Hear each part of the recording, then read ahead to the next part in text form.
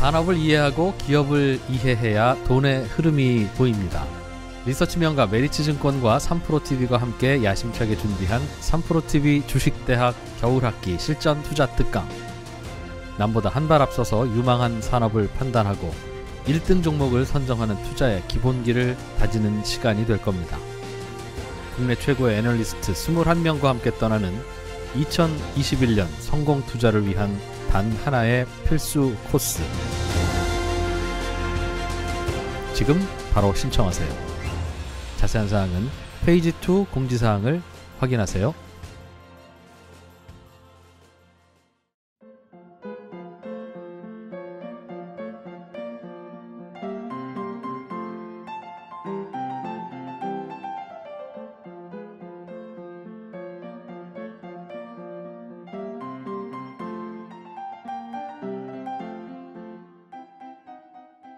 자, 3프로 상담소 이제 2부 시작을 할게요. 에, 사연을 만나기 전에 저희 상담소에 특별한 메일이 하나 도착을 해서 여러분께 소개할까 합니다. 야구 좋아하시는 분들은 아마 이분 다 아실 건데 예전에 KBS N 스포츠에서요 야구 해설가로 활동했던 데니얼 김이라는 분이 계시죠. 에, 이분이 저희 상담소에 사연을 보내주셨는데 제가 이분 사연 한번 읽어드리고 시작을 할까 합니다. 안녕하세요. 3프로TV 열혈 팬이자 야구 해설가로 활동 중인 데니얼 김입니다. 최근에 메이저리그 해설을 하다가 한 가지 재밌는 부분을 발견했는데요. 메이저리그 경영진 중에 주식 투자와 관련된 사람이 아주 많다는 겁니다. LA 다저스 사장이 애널리스트 출신이고요. 뉴욕 메츠와 보스턴 레드삭스의 구단주도 투자자 출신입니다. 모두 주식 투자로 큰 성공을 거둔 뒤에 야구팀을 접수해 운영하고 있는 건데요. 저도 이 모습을 보면서 깨달은 바가 많았습니다. 그래서 얼마 전부터 주식 투자를 시작했는데요. 조금 늦은 것 같아서 아쉽고 후회가 되기도 합니다.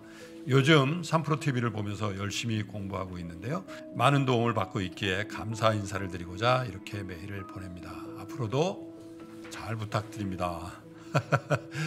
메이저리그 프런트 출신답게 미국 야구계 얘기를 투자와 접목시켜서 이렇게 얘기를 주셨는데 진짜 그런 것 같아요. 그 영화도 있었잖아요. 왜 머니볼? 머니볼이라는 네, 그 네, 영화도 네. 사실은 또 예, 또 어떻게 보면 약간. 이런 스토리하고 비슷한 건데 네, 그죠? 네.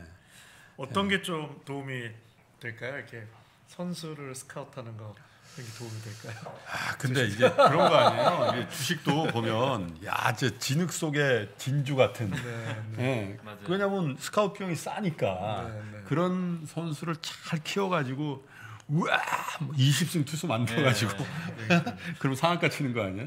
아니, 넌 사람을 경우도 꽤 있긴 있는 것 아, 같아요. 그렇죠. 그, 그건 뭐 먹튀. 진짜 이 똥손도 있죠, 똥손. 네.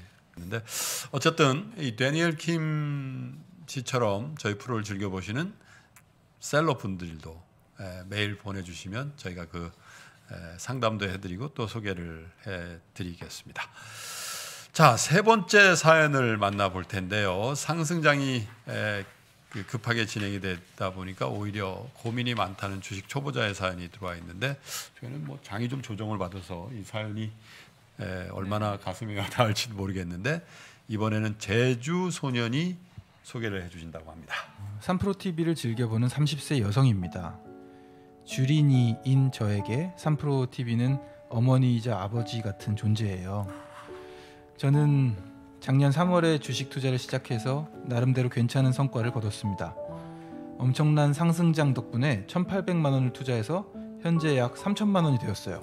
어유. 어, 초보자 치고는 괜찮은 출발 같아서 감사하고 있습니다. 요즘 저의 고민은 상승장에서 매매 타이밍입니다.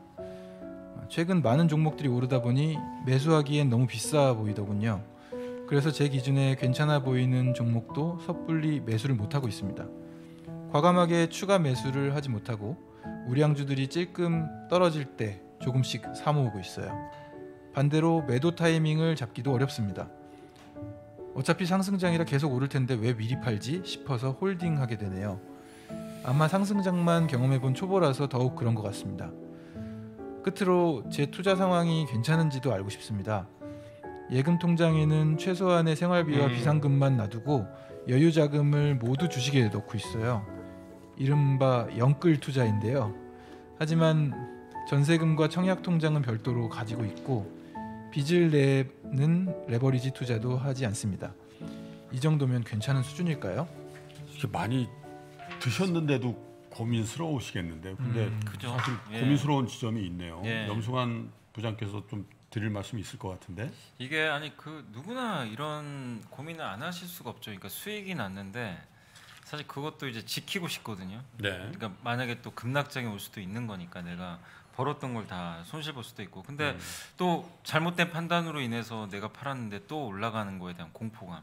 그러니까 사실은 이 매도 타이밍은 정말 누구도 알 수는 없어요. 그래서 본인만의 기준을 가지고 하셔야 됩니다 이거는 어떤 이제 전문가분이나 뭐 조언을 해드릴 수 있지만 그 기준은 여러분이 직접 좀 잡으셔야 될 것 같은데 일단 그 지금 수익이 좀 많이 나셨으니까 네. 당연히 확정하고 싶은 심리는 저는 분명히 이해를 해요. 근데 이제 저는 이제 한 번 더 물어보고 싶은 게 가지고 계신 이제 종목이 좀 여러 개가 있을 텐데 그 종목들에 대한 투자 아이디어를 한번 다시 한번 그 되새겨 보세요. 그러니까 뭐 예를 들면 내가 뭐 현대차를 샀는 뭐 현대차를 샀다고 가정을 하고 현대차를 샀던 목적이 뭐 예를 들면 제너시스가 잘 팔릴 것 같아서 내가 매수를 했다. 그렇다면 제너시스 이제 판매량이 좀 계속 나올 텐데 그런 데이터들을 보고 아 이거 좀 생각보다 기대했던 것보다 못 미치네 이러면 사실 거기서 투자 아이디어가 그건 네. 훼손되는 거거든요. 근데 그게 아니라 현대차 요즘에 보니까 뭐 갑자기 보스턴 다이내믹스라는 뭐 갑자기 로봇 회사를 인수를 하고 자율주행 회- 뭐 쪽으로 가고 또 아니면 UAM이라고 뭐 이제 항공기 사업까지 한다. 그렇죠. 그러면 이제 사실 약간 미국형 기업이 된다는 거거든요. 약간 테슬라로 좀 약간 벤치마킹한 느낌도 드는데 그거를 보고 나 현대차의 미래가 좋아 보여서 매수를 했다. 근데 운 좋게도 또 성과가 났다. 근데 음. 그 아이디어가 좀 훼손이 됐나요? 훼손됐는지 지금 몰라요. 그거는 몇 년 지나봐야 사실 알아요. 아니면 올해 말이나 빠르면 내년 초에 뭐 어떤 이제 중간 결과들이 나오겠죠. 여기에 따른 M&A 같은 것들에 대한. 근데 그런 것들을 확인을 할 때까지는 훼손된 게 전혀 없습니다. 음. 근데 시장에 따라서는 뭐 당연히 올랐다가 내렸다가 하겠죠. 그래서 저는 분명하게 기준을 잡고 그런 아이디어가 훼손 안 됐으면 그냥 가져가시라고 말씀드리고 싶고 대부분의 투자분들이 큰 수익을 냈던 거는 다 그런 원칙 때문이거든요. 근데 나는 그래도 증시가 좀 흔들리면서 내가 천만 원 번 게 당장 800만 원까지 까지는 게 좀 부담스럽다. 그러시는 분들은 뭐 예를 들면 천만 원 수익금이라면 그 중에 일부는 현금 하시는 것도 네. 나쁜 전략 아니에요. 뭐 10에서 20% 정도 약간의 보험을 드는 거죠. 음. 근데 그 정도만 하셔야지 나는 이제 불안한 심리에. 내, 예, 내가 가지고 있는 그 원칙은 깨 가지고 아 내일 뭐 이게 또 증시가 무너지니까 아우 당장 내일이라도 이거 다 깨먹을 것 같다 이런 생각이 드시는 분들 분명히 계실 거예요. 근데 그렇게 하다 보면요 사실은 남는 것도 전혀 없고 본인의 기준도 흔들리고 큰 내가 또 팔고 났는데 그 주가가 크게 올라갔을 때 그 엄청난 공포감도 있어요 사실은. 음. 내가 그 손해를 봤을 때 공포감도 있는데 팔고 났는데 급등했을 때 공포감은 더 크다고 하더라고요 사실상 그래서 그런 것들이 있기 때문에 저는 어쨌든 그 사연을 주신 분께서 좀 냉정하게 기준을 가지고 한번 그 매도 타이밍을 잡아보시고 정답은 없습니다 네. 다만 아이디어 훼손되지 않으면 가져가시되 일부만 좀 불안하면 줄이셔라 이렇게 좀 말씀드리고 싶습니다 자, 그래서 30대 여성이시고요. 지금 직장이시고요. 투자 경력은 한 1년 정도 되신다고 하는데 음, 한번 전화 연결해 볼게요. 아, 네, 안녕하세요. 네, 아이고 지금 직장 한참 일하실 때 아닌가 모르겠네요. 전화 괜찮으세요? 아, 네, 저 재택이고 좀 근무 아. 일찍 끝내서요. 네, 네, 네. 어 근데 주식 투자 잘하셨네요. 1년밖에 안 되셨는데. 아, 감사합니다. 근데 이게 제 능력이 아니라서 예. 운이라 운이다 보니까 좀 예. 불안한 것 같아요. 이제. 운이다. 네. 글쎄 운으로 이렇게 하시. 예. 아마 우리 염승환 부장께서 사연 읽고 이제 방송 보시면 이제 네. 좋은 조언을 이미 좀 주셨는데 아, 예, 염승환 부장도 나와 계시고 또 윤대현 교수님도 계시거든요. 또 제주 소년도 계시고 또 아, 소소상점 가수분도 계시고 저도 있으니까 어떤 네. 어떤 거라도 좋아요. 그냥 전화 연결됐으니까 혹시 네. 고민 상담하실 게 있으면 기회를 드릴게요. 사실은 제가 기준이 좀 없는 것 같아요. 작년 작년에 이제 막 한창 부동산 뭐 영끌에서 산다 이러는데 저는 뭐 영끌에서 살 것도 없고 근데 주식이 갑자기 코로나가 터지고 확 떨어지다 보니까 네. 예금 어차피 예금 금리도 낮은데 예금에 묻어두는 것보다야 낫지 않겠나 당장 쓸 돈이 아니기 때문에 이런 생각으로 어떻게 보면 되게 가볍게 들어갔거든요. 네. 예, 뭐 10년 묵히지 뭐 이렇게 들어갔는데 제가 생각한 것보다 너무 결과가 좋게 나온 거예요. 네. 물론 시행착오도 있기는 했어요. 막 뭐, 저- 잘 모르는 ETF 들어갔다가 막 상장 폐지도 됐다가 뭐 인버스도 사봤다가 이랬는데 그랬다가는 이제 조금 조금씩 기준을 잡아 나가면서 예. 이제 밀고 나갔는데 이제 지금 너무 특히나 1월 들어서 많이 올라왔다 보니까 음. 어, 어 갑자기 금리가 올라간다고 했을 때 내가 빼려고 하면 늦은 거 아닌가? 그냥 무조건 묻어두는 것만은 또 답이 아니지 아닐 수도 있지 않을까 이런 식으로 생각은 많은데 네. 결정을 잘 못하고 있는 상태예요. 아, 그러시군요. 뭐 염승환 부장께서 또 굉장히 좋은 조언을 주셨는데 네, 우리 윤 교수님께 제가 좀, 좀 조언을 좀 부탁드릴게요. 지금 어떻게 보면 글쎄 용기를 탁 냈는데 시행착오도 있었지만 나름대로 어 이게 내 실력 맞나 이거 어 이게 이거 진짜 이게 꿈이야 이럴 수도 있는 상태이신 것 같아요. 그래서 그거 스스로가 불안한.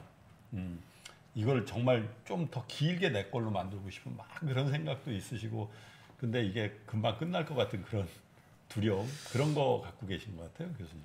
네, 이 운도 실력이죠. 겁나 부럽다 말씀드리고 네, 싶고요. 아, 아 저는 뭐 주식 잘 모르지만 음, 방송하면서 느끼니까 사실은 이제 그냥 주식에 든 돈은 뭐 보통의 경우는 뭐 언제든지 뺄 수 있는 것 같지만 그렇지 않은 것 같아요. 음. 어, 왜냐하면 많은 사연들 보니까 어, 더 오르지 않을까 뭔가 뭐 또 매수해야 되지 않을까 뭐 그러다 보니 제가 그 한 투자 전문가의 심리 에세이 내용을 읽었는데 뻔한데 좀 저한테 이게 제 마음에 툭 치는 게 이- 있는데 우리가 돈을 버는 여러 이유 중에 네. 자유를 언급하더라고요. 근데 그게 어마어마한 자유가 아니라 네. 어, 좀, 어, 좀 위기 상황이 흔들려도 갑자기 주, 주식에 든 돈을 빼지 않을 자유. 어, 내지는 한 3개월 정도 쉬고 싶을 때 쉴 수 있는 자유. 뭐 이런 게 음. 측면에서 그 사람은 거꾸로 좀 어떤 투자 포트폴리오 이런 거를 이야기하던데요. 그런 의미에서 좀 잘 모르겠지만 전세금 뭐 청약 통장 다 잘하고 계신데 최소한의 생활비와 비상금만 두시고 이렇게 네. 넣, 넣는 게 이런 걸 영끌이라고 할 수. 네. 저는 마음 정, 전문가여서 이게 혹시 좀 네. 불안감을 올리면 그러니까. 이 불안이라는 게 미래 입장에서 꼭 중요한 거긴 한데 불안이 높아지면 제일 문제가요. 사실은 오늘 이렇게 좀 행복이 덜 느껴지는 걸로 아. 되어 있거든요. 사실은 어 그러실 분도 아니고 뭐 그러니까 차라리 난 이게 운이 아니라 내 실력이야 이러면 더 걱정이 될 텐데 네. 오히려 그렇지 않으시니까 큰 사고는 없으실 것 같은데 사실 지금은 뭐 1월 정도는 매일 파티하셔도 좋을 만큼 네. 좋은 일이 있으셨잖아요. 네, 그래서 이 순간을 좀 즐길 수 있게 네. 잘은 모르지만 미래 계획도 내 불안한 마음 좀 줄이는 쪽으로 좀 하시면 어떨까. 그러니까요. 네, 조금 현금 보유량을 늘리시라는 대한민국 정신과 의사 역사상 처음으로 희한한 조언을 한번 드려봅니다. 보리님 네, 오늘 이제 우리가 녹화 기준으로 보면 네, 에, 18일이잖아요. 네. 오늘까지도 괜찮으세요? 오늘 그 마음의 준비는 하고 있었어요. 1월에 네. 조정이 올 것이다. 아, 운 아니라니까 이분. 실력이야 실력. 네. 어, 그래서 근데 이제 바라보고 있으면 불안하니까 이제 덮어놓고 예. 왜냐면 지금 아마 사- 평가 금액이 제가 3천만 원이라고 했지만 3천만 원보다 이제 내려가 있어요. 좀 내려갔겠죠. 예. 네, 근데 어차피 뭐 내가 손해는 아니니까 예금보단 더 벌었으니까 이런 마음으로 있어야지 하면서 자기 주문을 계속 걸고 있거든요. 음. 네, 근데 이게 한 번 딱 최고점을 찍은 걸 보고 나니까 왠지 어 내 게 아닌데도 이거 원래 내 돈. 아 거기서부터 내 돈이라고 생각되죠. 네 그런 음. 기분이 막 들다 보니까 네, 스스로 좀 예. 내려놓으려고 노력을 하고 있는데 음. 여러 전문가분들께서도 의견이 다양하시잖아요. 네. 그래서 뭐 참고를 하, 하려고는 해도 또 제가 기준이 없다 보니 어려웠는데 근데 오늘 막 이제 제가 방송 나오면 네. 염승환 부장님께서 말씀해주신 것도 참고를 할 거고 또 예. 방금 교수님께서도 너무 따뜻하게 말씀을 해주셔가지고 어디 주변에 사실 투자 관련해서 그렇죠. 볼 때가 잘 없거든요. 네. 아무래도 뭐, 뭐 주변에 뭐 30대 초반이라고 해서 다 주식을 하는 것도 아니고 그렇죠. 그래서 어, 되게 운 이것도 운 좋게 연결이 된 것 같아서 되게 어, 일이 좀 잘 풀렸으면 좋겠다 이렇게 음. 기대하고 있습니다. 그러니까 이제 뭐 정 불안하시면요. 어, 이, 네. 이 행운이 계속 될까? 정 불안하시면 네. 행운의 길이는 길게 만드시고 행운의 양은 폭은 조금 적게 만드시는 것도 방법이죠. 예를 들면 에, 그래서 분할 매도가 있잖아요. 그래서 네. 살짝 조금만 팔아보는 거죠. 그러면 자 빠졌어요. 그러면 아 이런 생각하면 되잖아요. 아 그래 다 갖고 있는 것보다 낫지 않아. 어, 어제 좀 팔았으니까. 근데 또 올라갈 수가 있잖아요. 그러면 또 아 반 이상 있는데 뭐. 음. 그래서 어떤 경우에도 마음 먹기에 따라서는 그 찾아온 행운을 이렇게 연장시킬 수 있는 에, 그런 거. 그래서 그 처음에는 저는 항상 그 주식 처음 하는 후배들이나 이런 친구들한테 너무 처음에 홈런 치려고 그러지 말라고. 예. 처음에는 내안타나 이런 거 있잖아요. 그래서 슬라이딩 태클 해가지고 간신히 살고 요런 게 오히려 예, 그, 그 경기의 룰을 잘 알게 하는 그런 거니까 그런 것도 방법인 것 같아요. 너무 그리고 지금 보면 자산을 거의 주식에마다만 갖고 계시니까 조금만 떨어 조금만 떨어지면 이제 그 스트레스가 굉장히 많으실 가능성이 많거든요. 아, 그러면 이제 윤대영 교수님 만나야 되잖아요. 아, 저랑 그냥 축하주 하시던지. 아, 그냥 그냥 편하게 만나 이런 자리를 통해서 편하게 만나는 건 괜찮은데, 네. 예, 뭐 접수하고 오세요. 그럼 골치 아프니까. 아, 절대. 너무 이렇게 부담 안 가지시는 게 좋을 것 같다는 생각도 제가 좀 해보게 되네요. 염승환 부장도 인사 한번 하시죠. 네, 뭐 조언은 네, 많이 네, 주셨는데. 아 근데 이게 그 지금 이제 전화 주신 분께서 그 보리님께서 지금 하시는 고민은 음. 누구나 다 하는 고민이에요. 그걸 뭐그 이상하다고 생각하실 필요 전혀 없고 지극히 정상이고 예. 다만 거기서 이런 이제 앞으로 주식 투자를 이것만 하고 그만두실 게 아니라 네. 평생 하실 거면 이런 일들은 앞으로 숱하게 다가와요, 사실은. 음. 그래서 자기만의 기, 기준을 앞으로 좀 명확하게 세웠으면 좋겠어요. 아까 제가 했던 얘기가 뭐냐면 음. 네. 결국엔 내가 샀던 종목에 대한 투자 아이디어가 뭐라도 있을 거 아니에요. 아니, 나는 그냥 10%만 먹, 먹으려고 샀어. 그것도 하나의 아이디어예요. 음. 난 삼성전자 10% 먹을 것 같아서 샀다. 그럼 10% 먹었으면 파는 게 맞아요. 그게 음. 본인의 아이디어니까. 근데 만약 내가 뭐 삼성전자의 뭐 앞으로의 반도체 뭐 누가 그러더라. 뭐 어떤 애널리스트가 뭐 슈퍼 사이클이 내년에 온대. 그래가지고 뭐 여기서 최소 한 뭐 10만 원 가지 않을까? 뭐 약간 이제 그런 관점으로 내가 공부를 안 하고 샀다 하더라도 그게 한 어쨌든 내가 매수의 이유잖아요. 음. 그럼 슈퍼 사이클까지 한번 보는 거예요. 진짜로 가는지. 한번 10만 원 가는지 확인을 하시면서 끝까지 가져가는 거예요. 왜냐면은 이게 주가라는 거는 어디까지 갈지는 그 누구도 알 수는 없어요. 근데 거기에 따른 내가 판단을 했을 때 분명히 언젠간 후회는 안 할 수는 없어요. 팔고 나서 다 후회하게 됩니다. 네. 근데 그런 거에 연연하지 마세요. 왜냐 이거 아니고도 또 앞으로도 주식 매수할 종목은 네. 엄청나게 많고 음. 기회는 많아요. 그러니까 이번 한 번에 대해서 내가 판단을 내린 거에 대해서 내 원칙에 맞게 그냥 내가 했다. 내가 아이디어가 이래서 음. 이랬는데 이게 이제 끝난 것 같아서 팔았다. 그건 정말 잘하신 거예요. 그렇기 때문에 절대 그런 거 후회하지 마시고 시간 많습니다. 그래서 뭐 앞으로 3프로 TV에서도 또 많은 전문가분들이 나오시겠지만 음. 그런 것들 잘 참고하셔가지고 그냥 공부 계속 하시면서 투자하시면 좋을 것 같아요. 한 가지만 더 말씀드리면은 초심자의 행운은 사실 오래 가지 않아요. 그러니까 지금 보리님께서 종목을 뭐 수익을 좀 많이 나신 것 같긴 한데 거기에 대해서 가지고 있는 종목에 내가 얼마나 스터디가 돼 있는지는 한번 다시 한번 네. 점검을 해보세요. 그게 중요합니다. 근데 거기서 내가 열 종목 들어갔는데 여덟 개밖에 안 돼. 음. 여덟 개도 그러니까 한 두 개만 스터디가 돼 있고 나머지 다 운이었다. 그러면은 나중에 다시 사상 누각이 될 수 있으니까 다시 한번 좀 시간 되실 때 네. 포트폴리오에 담겨 있는 종목들 좀 스터디가 음. 또될수 있도록 그 부분만 더 노력하시면 좋을 것 같아요. 그러세요. 네. 자 이제 뭐 윤 교수님도 조언 주셨고 저도 뭐 조금 도움되는 말씀 드렸고 또 연 부장님께서도 드렸는데 저희가 그냥 보내실 수가 없죠. 아주 아름다운 노래를 우리 보리님을 위해서 한곡 선사해 선물해 드릴게요. 자 계속해서 좋은 투자 하시고요. 그리고 컨디션도 좋게 유지하시면서 행복하십시오. 고맙습니다.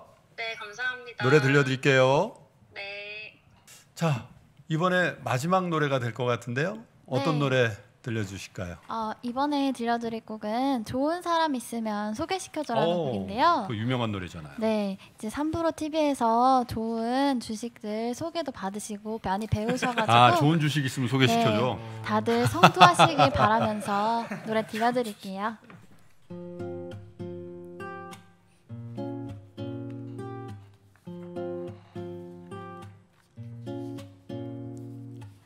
좋은 사람 있으면 소개시켜줘. 때로는 물처럼 때로는 불처럼 진심으로 나만을 사랑할 수 있는 성숙하고 성실한 사람이라면 좋겠어. 좋은 사람 있으면 소개시켜줘. 사랑에도 연습은 있는 거기에 아주 조그만 일에도 신경을 써주는 사랑 경험이 많은 사람이라면 좋겠어. 한 번쯤은 시련에 울었었던 눈이 고운 사람 품에 안긴 채 뜨겁게 위로받고 싶어 혼자임에 지쳤던 내 모든 걸 손이 고운 사람에게 맡긴 채 외로움을 잊을 수 있다면.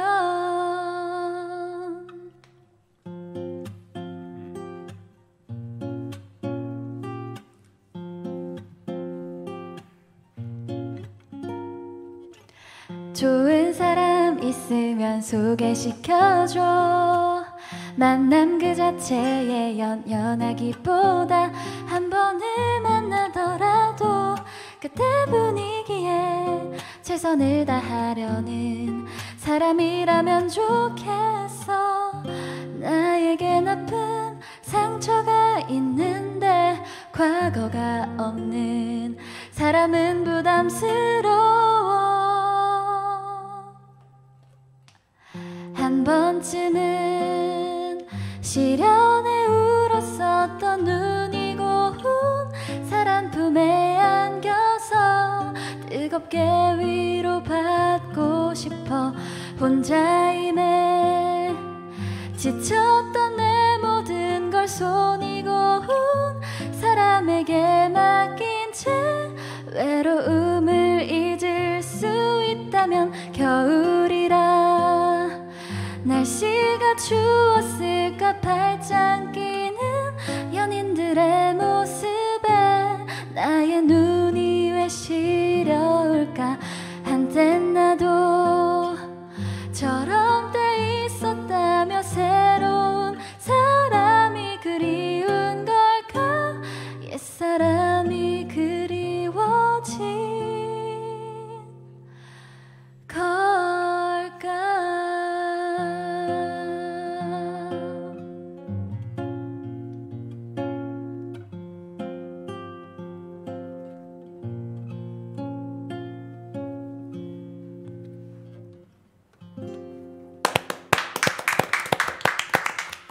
자 이제 뭐 시간이 많이 흘렀어요. 그래서 마지막 사연을 이제 들려드려야 되는데 고민 상담이 아니고요.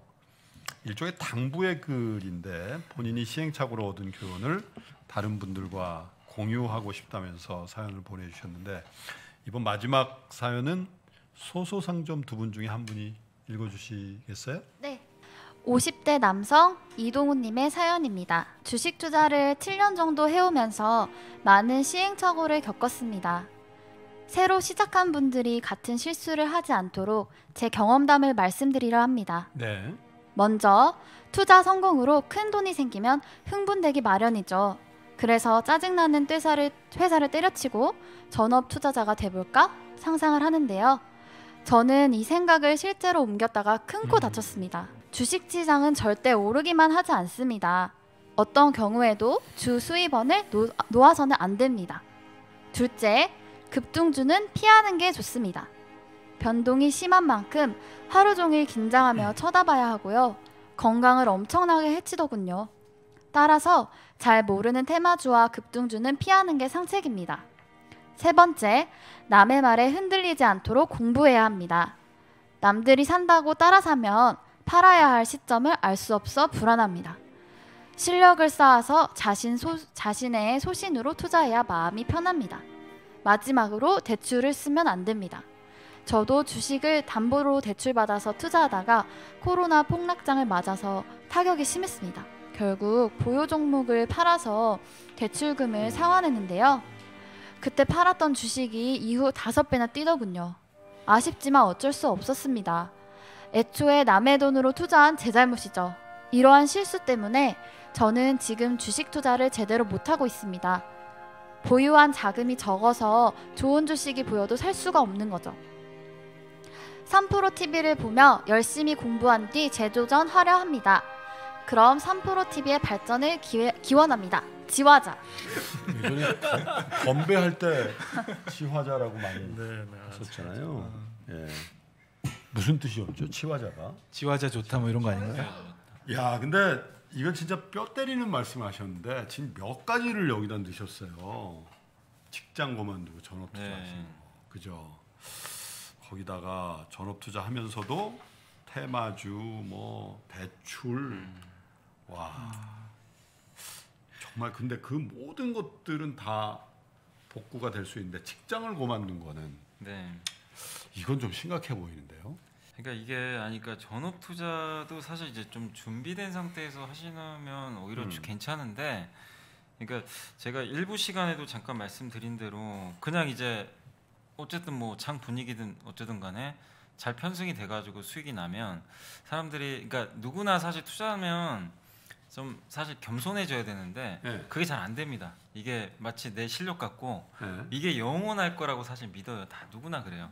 이- 특히 이제 처음 하시는 분들이 있어. 그래서 당연히 아 전업 가자. 전업 가면 이 내가 굳이 이 여기서 이제 시간 쪼개 가지고 직장 생활 하면서 할 때보다 훨씬 더 많은 돈을 벌 거란 이제 환상을 더 갖게 되거든요. 네. 근데 이제 막상 이제 이분도 경험하셨지만 결국에 전업 투자가 되고 나서는 결과가 지금 더 안 좋잖아요, 사실상. 그렇죠. 그러니까 어느 정도 본인이 자금도 확 충분히 여유 자금도 확보를 하셔야 되고 나 나는 진짜 어느 정도 좀 그 내가 전업을 통해서 할 수 있다라는 어느 정도의 경험도 분명히 쌓여야 되는데 그러지 않은 상태에서 그냥 조그마한 그런 이제 행운 때문에 전업으로 옮기신 분들은 저는 저, 저도 역시 좀 말리고 싶고 특히 그 오히려 직장인분들은 더, 저는 주식 투자하기가 더 좋다고 생각해요. 왜냐면은 물론 이제 시간이 부족하다는 건 단점이 있지만 충분히 자기가 공부할 수 있고 요즘에 정보의 비대칭성이 많이 해소됐잖아요. 그렇죠. 3프로 TV만 해도 그런 것들을 많이 해소하는데 일조를 했는데 그런 걸 통해서 충분히 저는 공부할 시간이 있다고 생각합니다. 그리고 많은 분들이 힘들어하는 게 그 단기 변동성. 그러니까 이 부동산에서 많이 버신 분들은 아뭐 어쨌든 부동산 대부분 장기 장기로 많이 하시잖아요. 어차피 그뭐 거주 목적도 그렇죠. 있고 그러다가 이 부동산 시세가 올라서 부자가 되신 분도 많이 계신데 주식 투자도 마찬가지예요. 물론 종목에 따라 다를 수 있겠지만 내가 어떤 종목을 샀는데 이게 매일매일 보면 변동성 때문에 굉장히 어지러워서 하루에도 수백 번 판단이 왔다 갔다 해요. 팔아야 되나 사다, 사야 되나 팔아야 되나 살아야 되나 근데 결국에 이 전업 투자 말고 이 직장인 분들은 그런 걸 안 보거든요. 이 시, 이제 바쁘다 보면은 시세를 놓치는 경우도 많아요. 근데 그런 경우에 오히려 내가 좋은 종목을 들어갔는데 안 봐서 크게 수익이 나는 경우도 의외로 많습니다. 이 주변에 물어보면 열심히 본다고 그거에 비례해서 주식 맞아요. 수익률이 높아지는 것도 네, 아니다. 전혀 그거랑은 사실 전혀 비례하지 않고 오히려 안 보는 그런 분들이 그렇게 더좀 핑계 댈 때가 네. 있어요. 아, 막, 막 방송하고 나왔더니 막, 막 많이 맞아요, 빠져 있는 거야. 아, 씨, 방송만 안 했어도 내가 이거 팔았을 텐데. 네. 근데 안, 해, 안 했을 때도 안 팔어. 그래서 저도 어쨌든 이분 지금 첫 번째 의견에 너무나 적극적으로 공감하고 네. 진짜 수입은 놓지 마시고 직장생활 병행하시면서 정말 뭐 나는 이 정도면 됐다 할 그런 게 아니라면 음. 전업은 안 하시는 걸 저도 권유드리고 싶고 두 번째 이거 저도 진짜 격하게 공감하는데 진짜 저도 급등주 피하셨으면 좋겠어요. 이미 급등주라는 건 이제 누구나 다 아는 종목이 돼버린 거예요. 음. 거기서 먹을 게 없어요. 그 김프로님이 제일 잘하시는 말이 성동격서란 말 자주 하시잖아요. 요즘 많이 하죠. 네, 그러니까 그게 뭐냐면 이제 요란한 데에서는 결론적으로는 우리가 그 이제 요란한 그 어쨌든 이쪽을 요란하게 하고 좀 빈 곳간을 터는 건데 그러니까 이제 성동 격소잖아요. 한마디로 요란한 데에서는 먹을 게 없어요. 그러니까 한마디로 우리는 미리 그 더 이상 남들이 관심 없는 거를 음. 미리 가서 자리에 이제 맞아요. 앉아서 기다려야 남들이 이제 그 뭐 1% 먹을 거를 나는 초과 수익을 얻을 수 있는 기회를 활용할 수 있거든요. 누구나 아는 종목, 누구나 이미 시세가 난 종목, 거기는 이미 늦어요. 나만 아는 게 아닙니다. 음. 그래서 급등주보다는 저도 이걸 항상 권유드리고 싶어요. 지금 시장이 뭐 만약에 화랑장이라고 쳤을 때 정말 모든 사람들이 뭐 A, B, C란 테마에 지금 다 몰려 있어요. 근데 보면은 이 D, C, E, F라는 이쪽 테마는요. 만약에 그냥 죽어 있다고 생각해 보세요. 그런 기업들은 더 이상 빠질 놈은 없어요. 근데 거기서 내가 그쪽에서 먼저 공부를 해보는 거예요. 아 이쪽에서 앞으로 좋아질 게 분명히 나올 텐데 그럼 그 중에 D하고 F가 결정이 됐어요. 하방 경직성 확보됐으니까 그럼 미리 자리 깔고 앉아서 들어가 계세요. 음. 그러면은 저쪽이 이 요란했던 데가 어느 순간 갑자기 조용해져요. 그러다 이쪽이 또 요란해지는 순간이 생기게 됩니다. 그러면은 거기서 남들이 10% 먹을 걸 나는 두 배가 먹을 수 있는 그런 현상들이 의외로 많이 나와요. 시장이 되게 재밌어요. 그런 것들이 1년에 보면 되게 많이 나옵니다. 작년에 조선주가 대부분 그랬거든요. 조선주가 현대미포조선이 아무도 관심 없는데 한 달 만에 80%가 올라가 버렸어요. 음. 조선주 아무도 관심이 없었는데 그러니까 그런 현상들이 올해도 많이 나올 거예요. 그래서 여러분들이 저는 이 두 번째 급등주 피하는 게 좋다. 역으로 소외주 위에서 한번 내가 공부를 해서 기회를 찾아보자. 그리고 마지막으로 공부해야 된다. 이거는 뭐 그냥 진리죠. 왜냐하면 특히 급락장일수록 내가 남의 말만 듣고 종목을 사면 조금만 빠지면 진짜 멘탈이 흔들려요. 이거 그러니까. 팔아야 되나? 내가 잘 모르니까.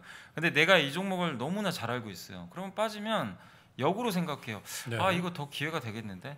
그래, 그런 이제 전략들이 좀 가능하기 때문에 멘탈적인 측면 내가 어떻게 이 종목을 투자 판단하는 데 있어서 특히 급락장에서 이 공부를 했느냐 안 했느냐에 따라서 그 전략 자체가 완전히 틀려집니다. 음. 그렇기 때문에 그런 관점에서 보면 좀 공부를 해야 된다. 그래서 저도 이 지금 세 가지 측면에서 이분께서 좀 정말 자기 경험담을 말씀해 주셨는데 이건 진짜 이분의 경험이기도 하지만 모든 분들이 이런 경험 또 앞으로도 하실 수도 있고 아니면 이미 경험해 보신 분도 분명히 많이 계실 거예요. 그러니까 진짜 뼈 때리는 어쨌든 이제 그 말씀이신데 정말 저는 좋은 말씀 하신 것 같고 음. 여러분들이 정말 다시 한번 이 말씀들을 한번 새기, 새기셔서 투자를 하시면 진짜 좋을 것 같아요.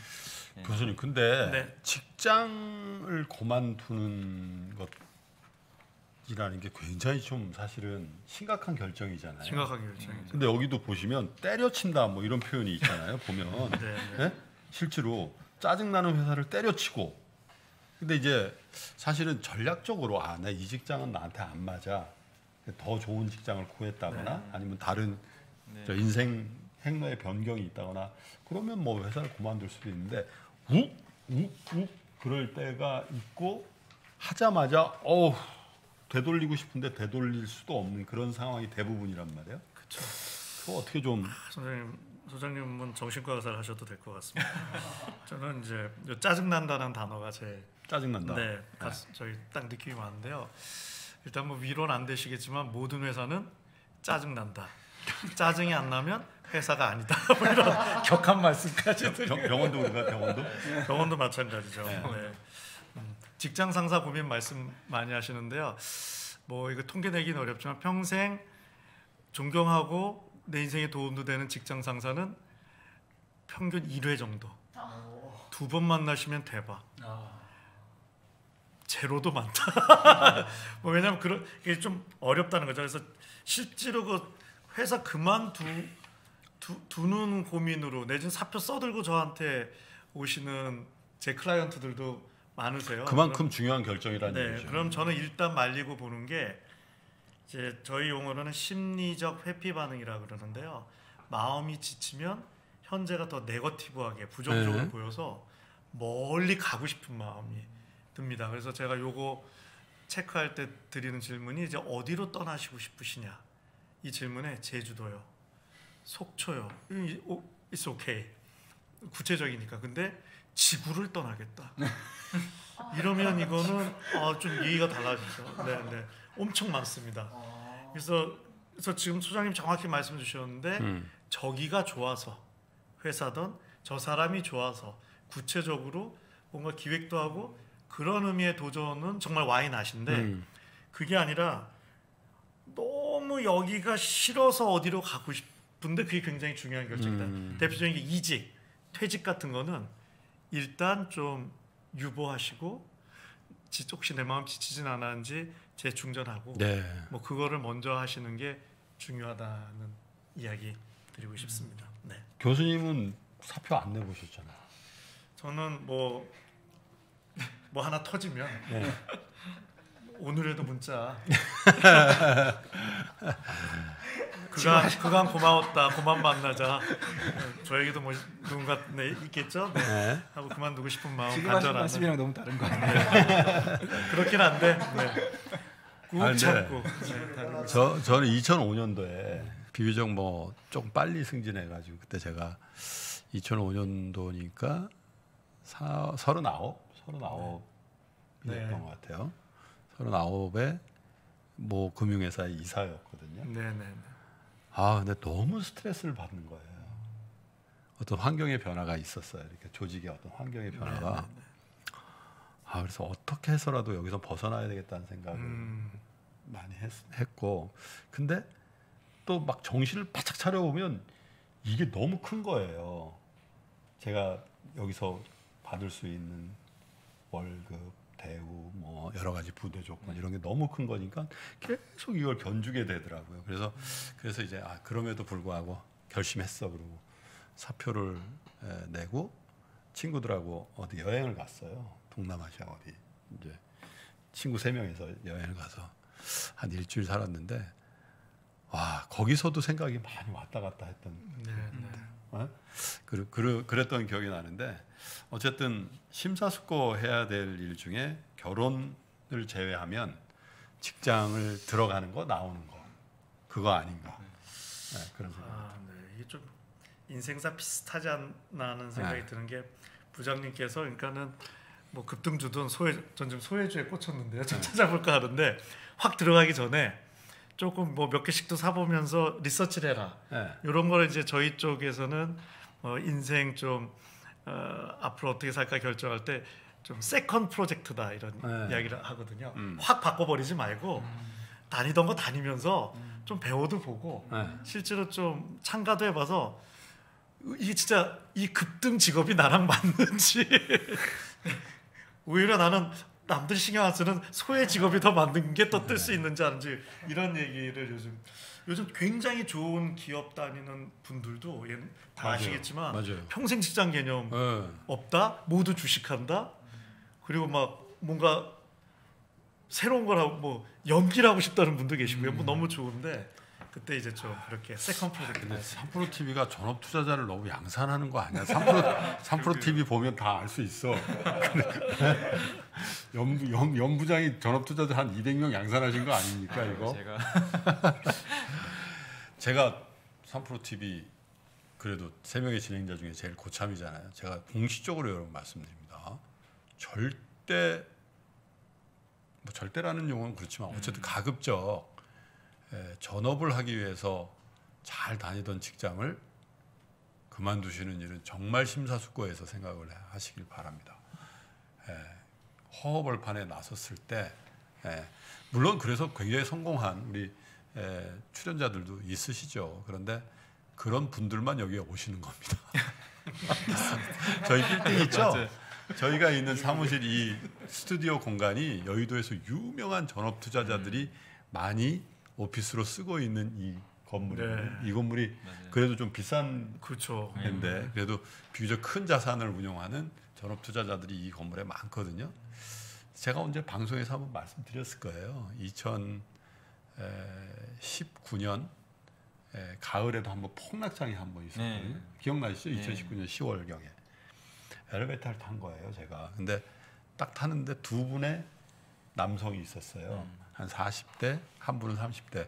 근데 표정이 너무 안 좋은 거예요. 저도 뭐 그날 뭐 음. 표정이 좋을 일은 없었어요. 주식이 엄청 빠진 날. 네. 한 4, 5%만 음. 이렇게 빠진 날인데 근데 그 젊은 친구가 그 선배한테 이렇게 얘기를 하는 거 제가 생생하게 기억나요. 엘리베이터 이렇게 쭉 오르내리면서 형 잊어버리자. 우리 좋은 거 많이 사고 좋은 거 많이 먹어봤잖아. 좋은 차 타봤잖아. 에이, 다 잊어버려. 그 얘기를 하는데 그 얘기를 듣는 선배 얼굴 제가 봤거든요. 안 잊혀진. 그날 그 그게 이제 전업 투자를 하시다가 아마 신용 반대 매매가 나간 날인 것 같아요. 돈을 빌려서 투자하면 이제 증권회사에서 이제 더 이상 못 네. 버틸면 이제 팔아버리거든요. 다 날라가 버린 거예요. 다. 와그 엘리베이터에 세 명이 그 그 진짜 네. 막한 그 그걸 저는 이제 그걸 듣고 있었는데 지하 주차장까지 가는데 야 그래서 아 이거 참 주식이 무서운 거구나. 그런데 그 상태에서 내가 직장마저 없으면은 과연 어떠지 어떻게 하지 이런 생각들을 에, 많이 해봤는데 여러분께도 꼭 오늘 사연이 주신 사연을 부- 주신 분이 에, 이렇게 말씀하실 때는 정말 처절한 거 아니겠어요? 이, 이분이 이, 이 걸 뭐 무슨 무슨 대가를 바라고 하시는 네. 게 아니니까 여러분 직장을 욱하는 마음에서 그만두시고 그 그만두시는 구실로서의 투자는 안 하시면 좋을 것 같습니다. 꼭 당부를 드리겠습니다. 자, 3프로 상담소 아, 세 번째 순서 아, 이렇게 해보다 하다 보니까 또 막을 내려야 되는 시간인데요. 3프로 상담소는 여러분의 참여로 만들어집니다. 속상하고 우울한 분들 저희가 따뜻하게 위로해 드릴 테니까요. 사연 남겨 주십시오. 투자하면서 생긴 에피소드나 실패담, 성공담도 환영하겠습니다. 저희 이메일 다 아시죠? 네, 이메일에 보내주시면 되고요. 보내실 때는 여러분들의 연락처를 함께 적어주시면 저희가 연락을 드리겠습니다. 자 이제 정말 헤어져야 될 시간인데 에, 소수상점도 그러시고 제주 소년도 그렇고 어떠셨어요? 저는 아, 사실 주식을 이제 지금 하진 않고 아 이제 해볼까 하는 상황이었었거든요. 그래서 수진이도 계속 저한테 말을 하고 있었고 그래가지고 오늘 이 시간이 되게 오기 전에 아 오늘 엄청 공부 많이 가야겠다. 그리고 저희 친형도 주식을 하는데 예. 아 그거 가지고 아 많이 내가 또 조언을 해줘야겠다 배워서 그런 생각했는데 그래서 오늘 들으면서 처음 듣는 용어는 되게 많았어요. 뭐 음. 급등주 뭐 또 소외 막 이런 것들 되게 약간 많았는데 외국어 같았어요. 못 알아듣는 것들. 그걸 외국어 같다고 생각하는 여러분이 제가 부럽습니다. 얼마나 순수할까. 이런 단어들이 좀 익숙해졌으면 좋겠고 저도 그래서 오늘 되게 엄청 즐거웠던 시간이었던 것 같아요. 네, 너무 감사했습니다. 네. 저도 그 이제 올- 작년에 처음 시작해가지고 이제 계속 배우고 있거든요. 두 번째 사연분이랑 저랑 되게 비슷한 것 같아요. 그래서 되게 많이 불안하기도 하고 그랬는데 염승환 차장님 말처럼 그 자신의 아이디어를 그 믿고 음. 그거를 확신을 가지면은 좀 덜 불안하고 다 불안하니까 그냥 계속 공부하면서 나의 아이디어를 믿고 책임지자 이렇게 오늘 또 배워갔습니다. 네. 감사합니다. 저도 오늘 방송 함께하면서 되게 적용되는 것들이 많았는데 저도 작은 회사를 운영하고 있고 그 회사의 소속 뮤지션들이거든요. 네. 근데 저는 전업 뮤지션으로 이렇게 살다가 한 30대 넘어가면서부터 레이블을 만들고 음반 제작이라는 거를 하고 있는데 마지막 사연자분처럼 그냥 아 난 이제 다 때려치고 이것만 할 거야 이렇게 하지 않고 저도 기타 들고 와서 노래하고 또 이 친구들에게도 배팅을 걸고 하는 것을 하고 있어서 오늘 여러 가지로 교감되는 부분이 많았고 음. 배운 것도 많았던 것 같습니다. 네. 앞으로도 좋은 노래 네. 부탁드릴게요. 교수님, 뭐 이제 세 번째 시간 헤어져야 될 시간인데. 네, 사실 굉장히 희한한 프로그램인데요. 음. 네, 네.